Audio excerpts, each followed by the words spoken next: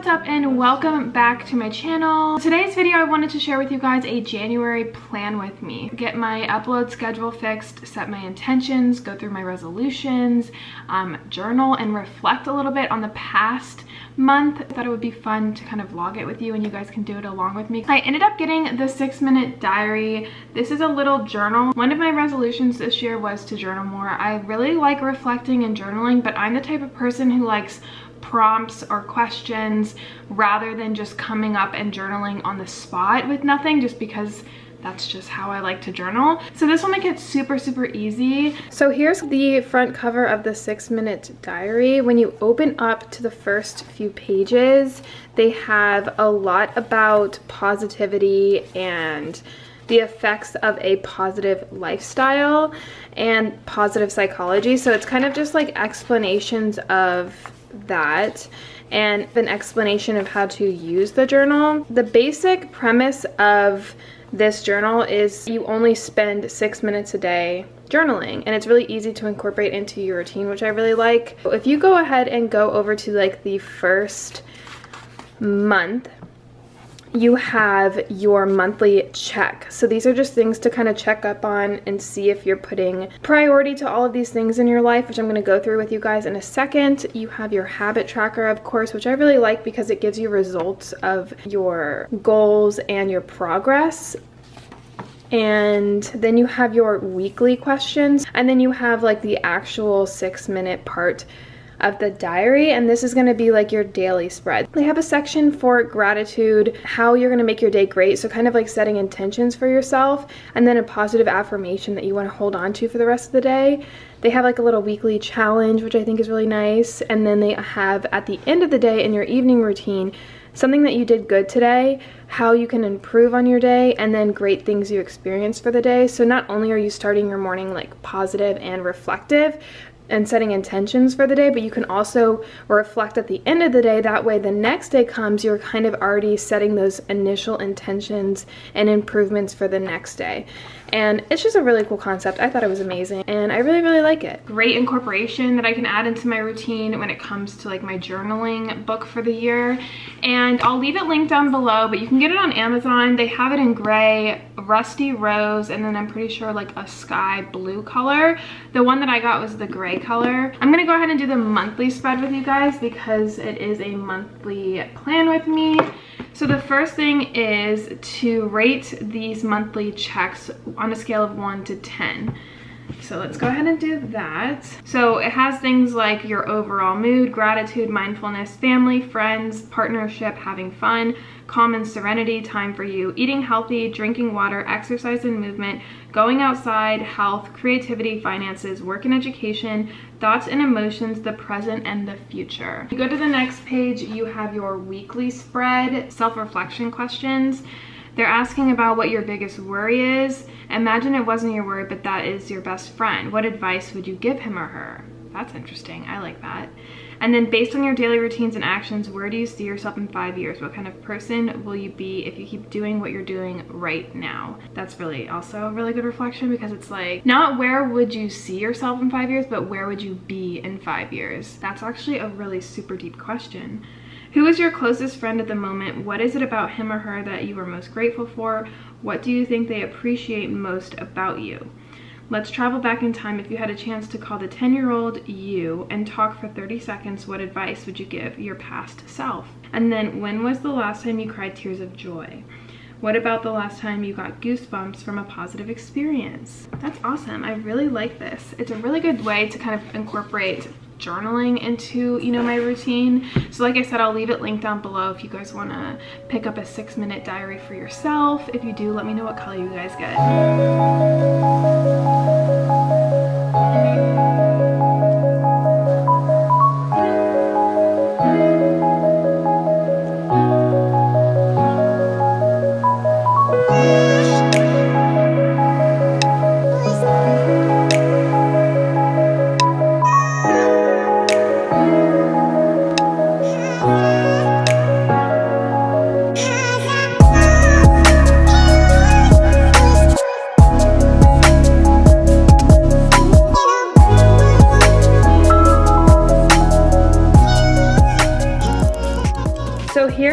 Best way that I kind of plan out my videos for the month.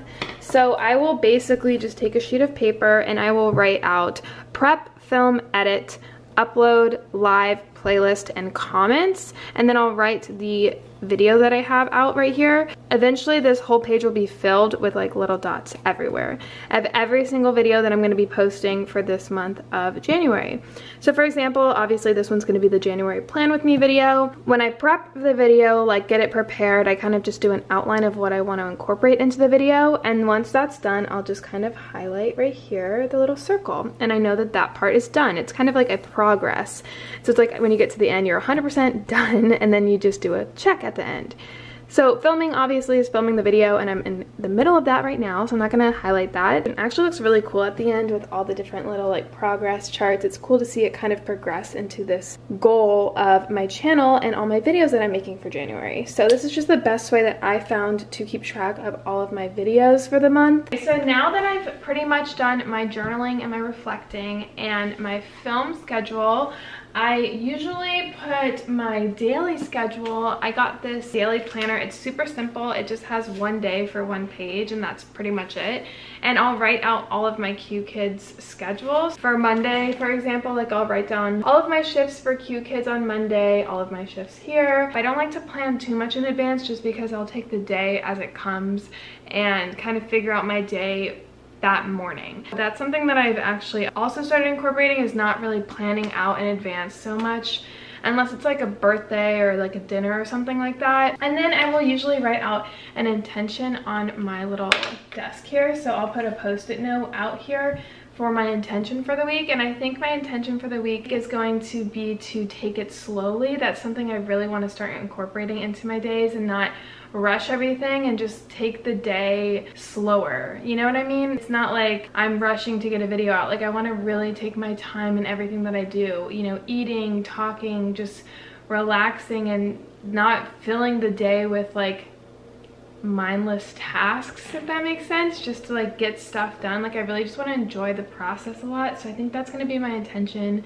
for this week. I also will print out my workout schedule. So I ended up joining a gym and I have like different classes that I go to. So I'll like print out a sheet here and then just highlight the classes that I'm into. So I take it day by day again, dependent on how I'm feeling. Like sometimes I'll go, you know, lift weights. Sometimes I'll go to a yoga class. Sometimes I'll go to a cycling class. So I'll just print out the schedule. That way I can find out what class I want to take and work my schedule around the class. So that's that. And then I also have my video planner on my computer. So I basically have a monthly spread here on my computer of all the videos that I want to plan out.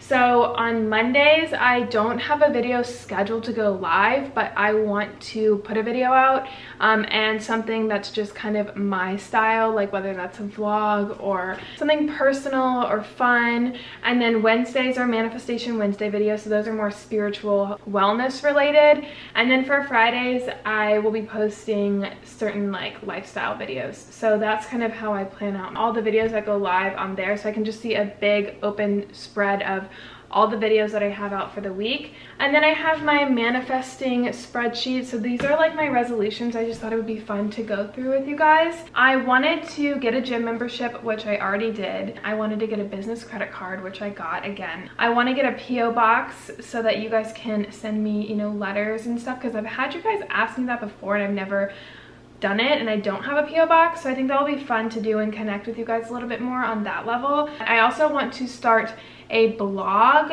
like a website or something like that where we can put all of the Manifestation Wednesday videos outlined so that you guys can follow because I know a lot of you guys take notes too on the videos so I think that would be really fun to do and then when it comes to like our book club, like every time I finish a book or something I can like write what I thought and talk to you guys about it. I just think it'd be a fun way to write to each other, you know? Something else I want to try this is like really random, but I really want to try beef Wellington. Gordon Ramsay posts like pictures of it all the time and I've never had it before and there's only one place in Florida that sells it and I want to try it. I want to do a DNA test, um, just curiosity, honestly. I wanted Lululemon leggings. I know they're kind of expensive, but that's something I've really wanted for a while now. So I think I want to invest in some good leggings. And then I also want to try Rosetta Stone, which is like learning a language. I might get like French because I took French in high school, so I know a little bit. So those are my short-term goals that I can knock out within like the first quarter of the year.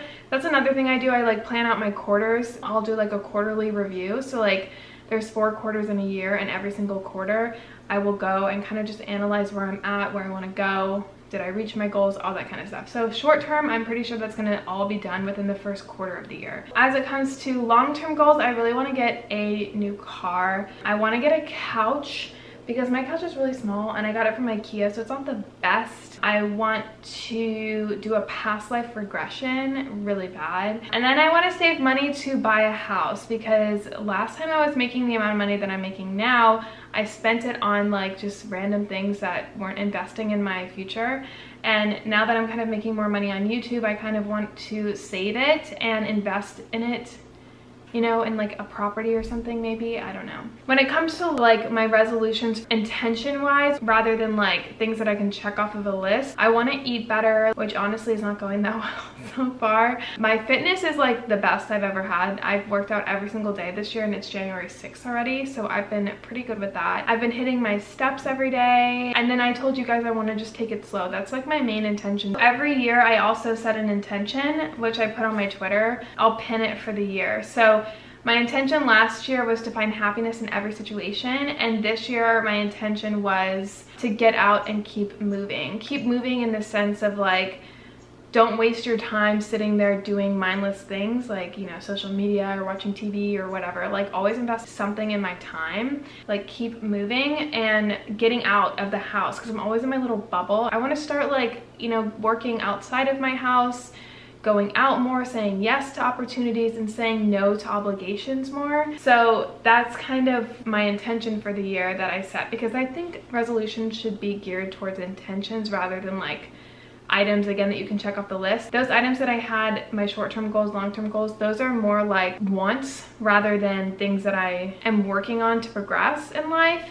So all of those honestly don't mean anything. To me, the intentions and the resolutions are things that you're trying to invest in yourself to make yourself a better person, like, you know, eating healthy, working out, taking life more slowly and being more present. That's kind of the main resolution I have. So to just enjoy time and take my time with things because I tend to rush and I become very impatient. So this year I just want to like take my time with everything that I do and like be more present instead of eating and watching in front of the TV. Like go outside and eat and enjoy like the birds and like the nice view, you know, that kind of stuff. So that's pretty much it for my January plan with me.